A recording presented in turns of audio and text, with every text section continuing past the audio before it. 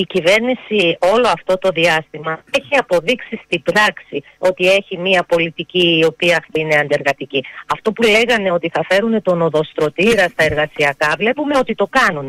Και το κάνουν με την ευέλικτη εργασία, το κάνουν με την αναστολή εργασίας, το κάνουν με την κατάργηση της αμοιβής των υπεροριών που έχουν στα σκαριά. Προφανώς θα πρέπει στη χώρα να έρθουν καινούριε επενδύσεις και εμείς, σαν κυβέρνηση, το είχαμε επιδιώξει αυτό μέσα σε ένα πολύ πιο αρνητικά οικονομικά περιβάλλον. Είχαν γίνει μόνο για τα δίκτυα των υπερυψηλών ταχυτήτων επί δική μας κυβέρνησης επενδύσεις 2,5 δισεκατομμυρίων ευρώ. Εδώ τώρα όμως και πάλι η κυβέρνηση όλα αυτά προσπαθεί με επικοινωνιακό τρόπο να δείξει στον κόσμο μια εικονική πραγματικότητα. Παράδειγμα, θα σας πω για την Microsoft. Διακήρυταν ότι παίρνουν μέτρα 24 δις. Στην πράξη όμως και με βάση τα δικά τους στοιχεία, τα χρήματα τα οποία δαπάνησαν τώρα στον κορονοϊό, 4,6 δις. Μια προσπάθεια να δείξουν το άσπρο μαύρο. Λέγαμε ότι πέρα από την επιστρεπτέα προκαταβολή, η οποία είναι επιστρεπτέα, θα πρέπει να υπάρξει μέτρο της μη επιστρεπτέα προκαταβολής. Όταν τα λέγαμε αυτά, όμως δεν είναι λεφτόδεντρα, δεν υπάρχουν. Για να δει η Ευρωπαϊκή Ένωση μέσα από το ΕΣΠΑ και να μας δικαιώσει, δίνοντας τι περιφέρειες 1,5 δις, από το οποίο